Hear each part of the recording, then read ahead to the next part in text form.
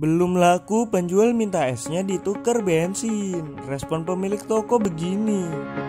Bagi pedagang kecil, pemasukan mereka untuk hidup sehari-hari bergantung penuh pada penjualan barang dagangan.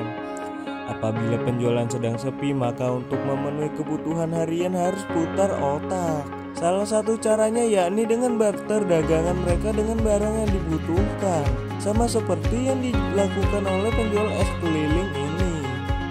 Dalam unggahan video dari akun Instagram satu ini memperlihatkan seorang penjual es keliling meminta dagangannya ditukar dengan minyak kepada pemilik toko Selasa 12 Juli 2022. Penjual tersebut mampir ke sebuah toko kelontong yang ada di pinggir jalan.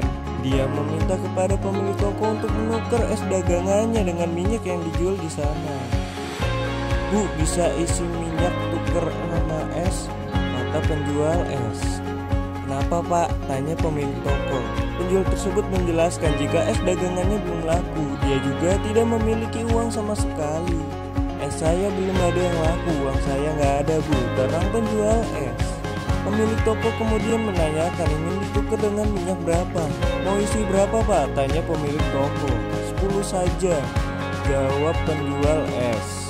Penjual itu lantas ingin memberikan esnya kepada pemilik toko yang baik hati menerima permintaannya ditolak oleh pemilik toko yang sudah mengikhlaskan. Pemilik toko hanya ingin didoakan saja oleh penjual es sebagai ucapan terima kasih. Terima kasih banyak nak, sehat selalu banyak rezeki. Doa dari penjual es. Respon pemilik toko bikin tersenyum warganet yang menonton video ini. Pemilik toko banjir pujian serta ucapan doa baik dari warganet.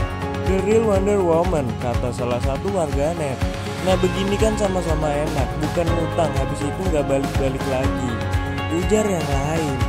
Semoga orang-orang baik diberi rezeki yang berlimpah Amin. Doa warganet. Semoga dagangan kalian laris manis Pak dan Bu Imbu yang lain. Sehat selalu orang-orang baik Ungkap warganet lainnya. Baru diunggah 2 jam yang lalu Video viral yang bikin teranyuh ini Sudah mendapatkan 66 ribu. Tayangan di Instagram Dan 4,9 ribu suka